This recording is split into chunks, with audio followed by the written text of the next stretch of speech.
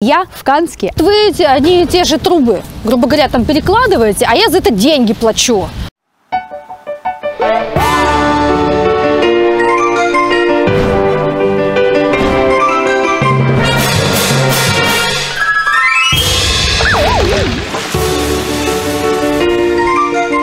Я все исследовала, и теперь расскажу об этом вам.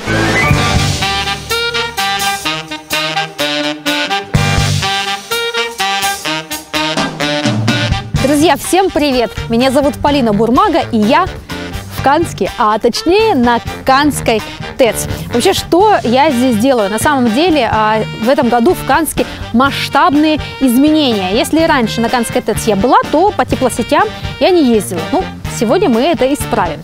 А, про изменения. В этом году на 25% увеличен ремонт теплосетей. Мы это побываем, увидим, все расскажу, все покажу. Модернизируют три старые котельные. Да, и на самой станции ремонтов предостаточно. Пошли! Ну,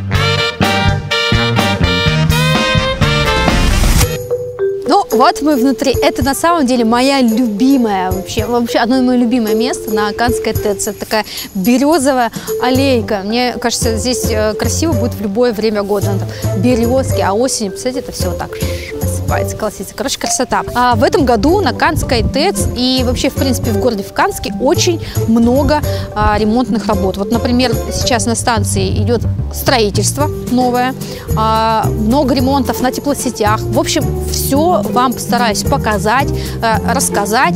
А сейчас немножко Канской ТЭЦ. Все-таки она прекрасная.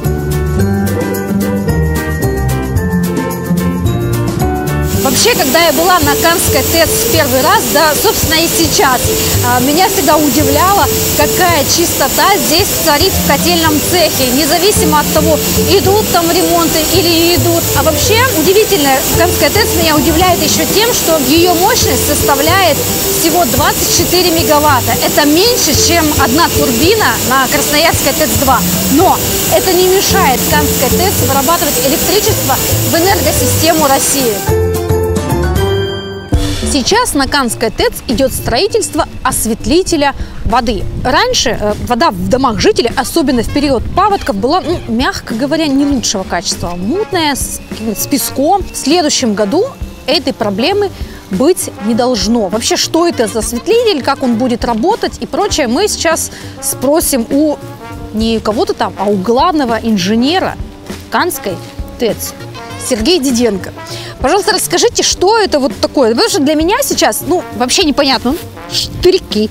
Не, я понимаю, что это фундамент. Ну, это не штырьки, это готовится основа под заливку фундамента под будущий осветлитель. Планируем эту работу завершить мы 15 декабря 2022 году. Я думаю, проблема светостимульности у нас будет в городе Канске решена. А что это за осветлитель? Ну, что, что это такое? Если сказать по-простому, это простая емкость э, объемом порядка 650 кубических метров, а, в которой подается вода из реки Кан.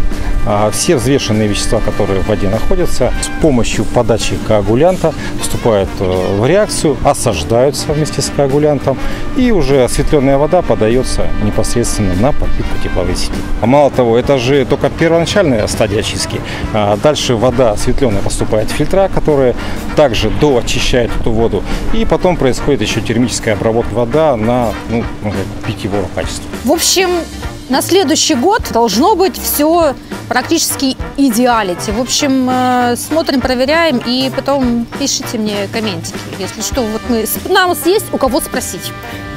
Теперь, друзья мои, идем дальше. У нас еще с вами очень много всего посмотреть. Мы сейчас пойдем э, смотреть, как идут работы по замене тепловых сетей. Их, кстати, в этом году ну, сильно больше стало. Там, по-моему, увеличение на 4 километра.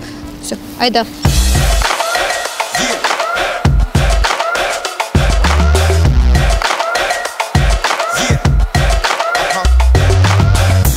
Сейчас я нахожусь на улице Краснопартизанская.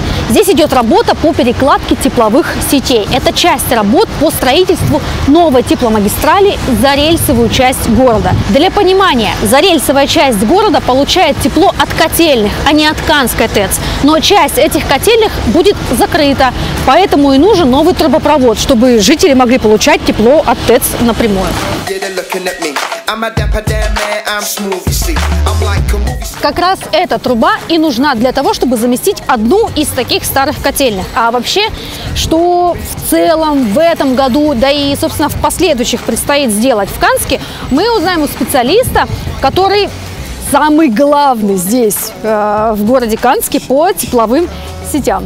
Здравствуйте. Здравствуйте. Расскажите нам, почему, в принципе, увеличены да, ремонты? Что будет со старыми а, котельными? Когда мы их закроем? Какие модернизируем? В общем, расскажите, пожалуйста, нам все-все-все. Давайте сначала с котельных начнем. В городе действует крупных 16 котельных. Три из них в планах СГК полностью заместить.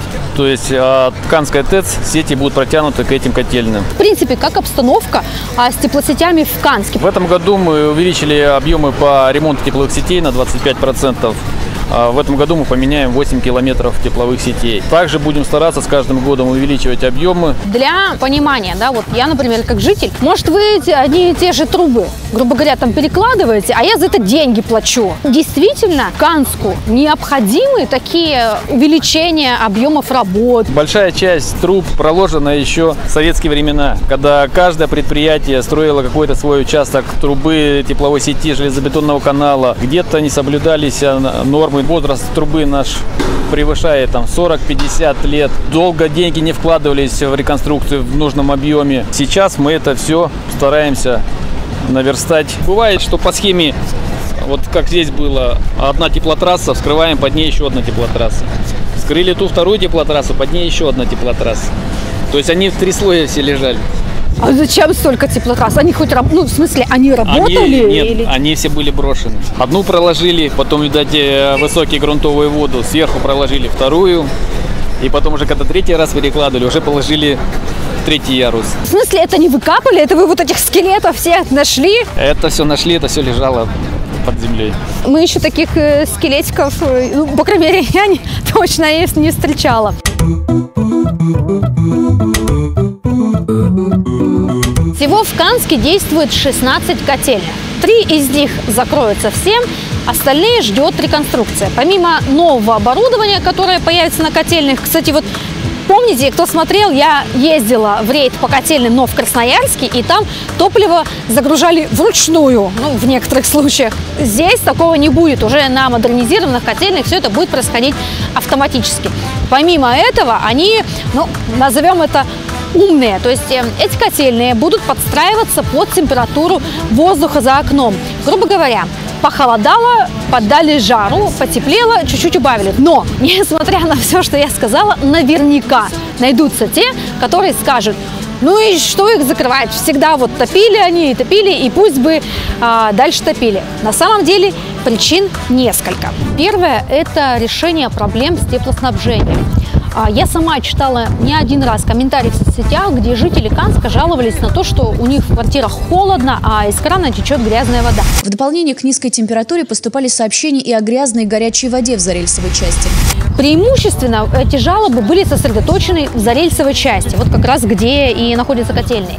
В прошлом году часть этих котельных передали СГК, собственно, со всем хозяйством, ну, которое ну, не в лучшем состоянии. То есть э, э, тепловые камеры были, э, ну, часть засыпаны землей, трубы уже давно выработали свой ресурс. Такие котельные проще было закрыть, да, проще и экономически выгоднее закрыть, чем модернизировать. Вторая причина экологическая, потому что зачастую не секрет, что на каких-то старых э, котельных нет никаких неочистных сооружений, ну, грубо говоря, нет фильтров. Понятно, что закрытие таких котельных не спасет экологию, но однозначно ее улучшит. Ну и последняя, третья причина – это тарифы. В Канске тарифы в городе разнились на 60, 100, 70%. Проще говоря, люди, которые получали тепло от Канской ТЭЦ, а, у них тариф был ниже, те, которые получали тепло от котельных, там тарифы менялись в зависимости от котельных. И тут жители Зарельсовой части заняли очень активную позицию. В итоге на территории всего города установился единый тариф. Он, кстати, начал действовать